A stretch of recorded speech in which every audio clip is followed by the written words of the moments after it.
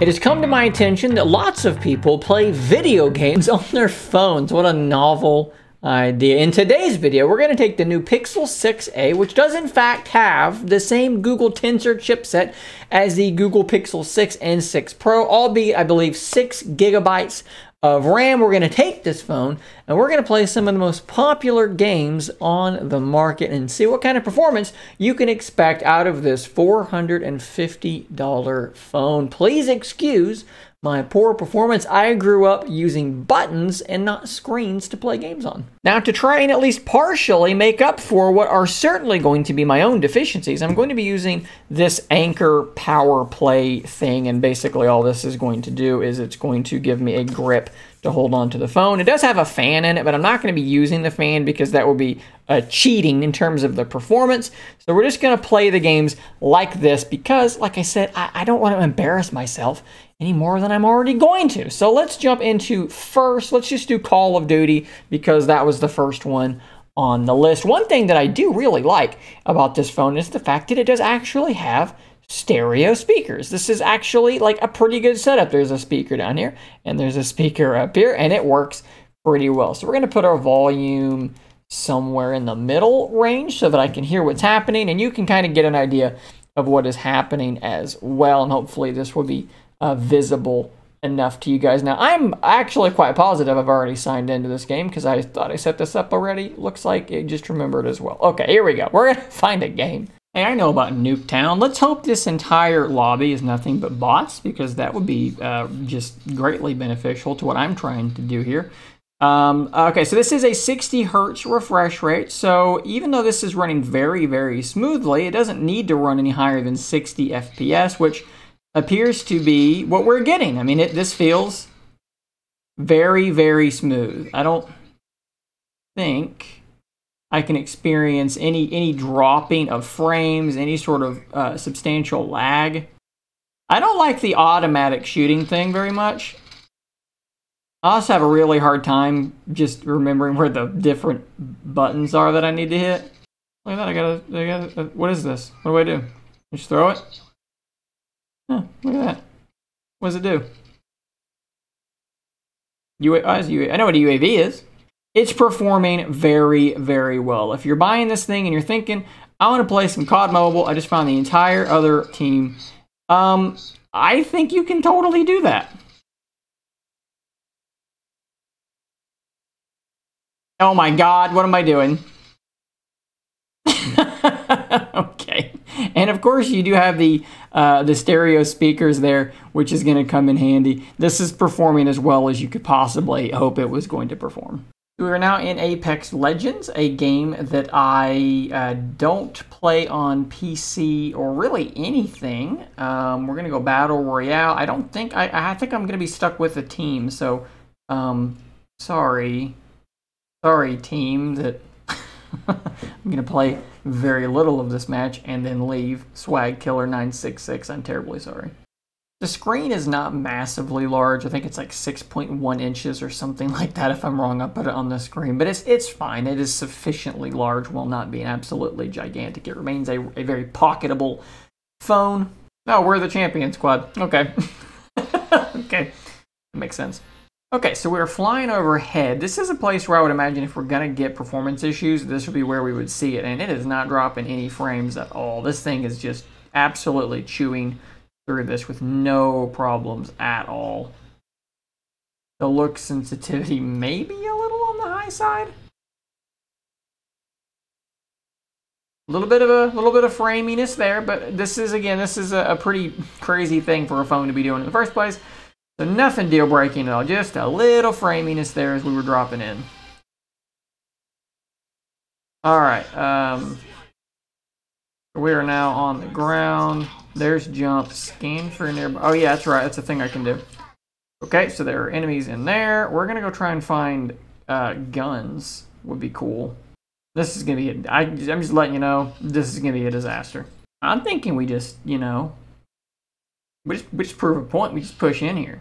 Sonar detected. We just got scanned. I'm firing my gun again for no reason. Is there a shoot button? Yeah, there's a shoot on the left as well. Is that behind me? I think I'm being pushed. Oh yeah, oh yeah.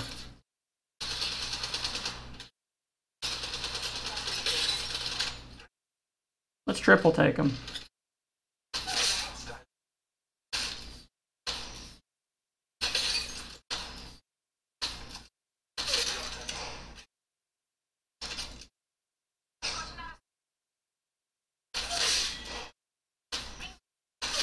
These have to be bots.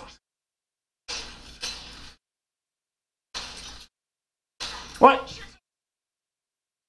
what?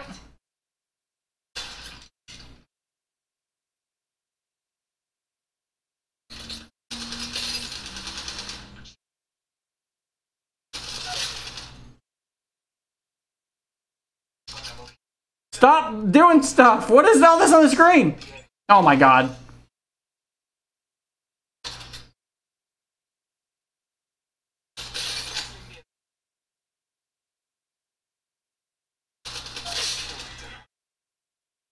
Oh, this is horrible, guys.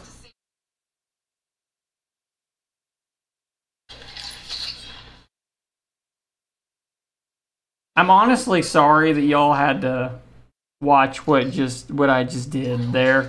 Um, we're just we're just gonna get rid of that. Okay, now we are in PUBG Mobile. Now, I've played a lot of PUBG on my computer before. Very little PUBG Mobile, but at least I kind of like know the game a bit better. I know the map a bit better. Um, what about the actual phone itself? It's getting a little on the warm side, and that's something that the Tensor does. It gets a little on the warm side, but it's nothing too crazy. And PUBG is running really, really well. Again, HD textures and so forth, I believe I selected. Let's go into the graphics here. Uh, so we are on frame rate high graphics HD. HDR, Ultra HD is not available. It's restricted to HDR, which normally stands for high dynamic range, but don't know if that's the case here. Uh, customized buttons, graphics. We're going to put that back on colorful, back on HDR. Let's apply that now we're just waiting 10 seconds to be able to get in the plane and see what we're dealing with. But so far here on the little starting island, everything's running really, really well. In fact, my ping is 24 milliseconds. I would kill for 20 seconds or 20, 24 milliseconds of latency in PUBG on the PC. That would be fantastic. I tend to get uh, like 60 or 70, which makes for not as good of an experience. We're going to go uh, we're gonna go there. Is that a, what is that?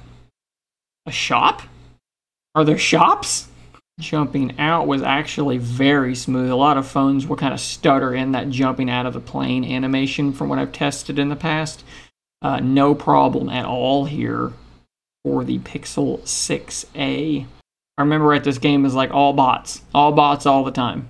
In fact, I don't even see anybody around. We're probably not even going to get any like action because there's probably going to be nobody landing here. What are you going to do? Can't control that. Oh, actually, I think I just... How do you have a gun already? You just landed. Oh, God. Well, that sounds like that's coming.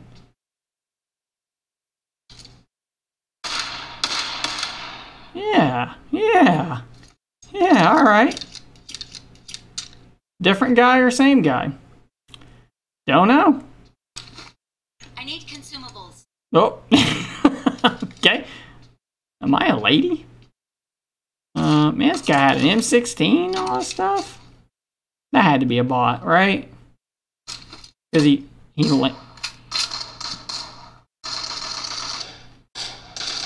Where is this coming from?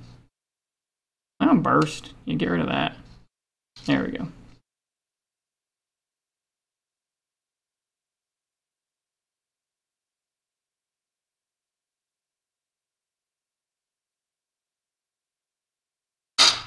Gah.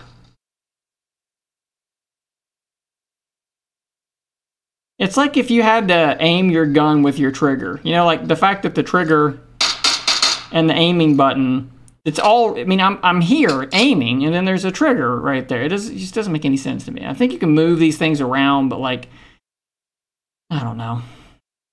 I'm just too old for this. How is it performing though? Let's just auto run. How is it performing? Well, it's performing fantastically. There's absolutely no frame drops at all. It's running at 60 FPS, 60 hertz, locking to that to that display array. I think it's running really, really well, and the settings are pretty much maxed out as far as I can tell for a normal device. You saw what they were. Make that judgment for yourself. It's running really well. So there you go. I think we've learned a few things here. The first thing we've learned is that I can't play video games with a touchscreen. I think we already knew that. Another thing is, is that this thing does get relatively warm, but the biggest takeaway is that it is chewing through all of these AAA mobile games with nary a problem, no frame drops at all. They're running fantastically well. So if you're looking at this $450 phone because gaming is something you're considering, the speakers are decent, the screen is fine, and the performance is very, very good. Now look, is this a ROG phone? Is this a Black Shark gaming phone? No, it is not. It doesn't have the high refresh rate, right? It doesn't have the massive screen. But gaming, if it is sort of a secondary thing of yours, number one, like, you know, you don't want to spend a lot of money. Great, got it. You want a really good camera, you want solid performance, you want a good looking phone, and gaming is something you might be doing. Don't think twice. Pixel 6a is going to knock that out of the park as well. Guys, thanks for watching. Don't forget to subscribe, and until next time, stay nerdy, my friends.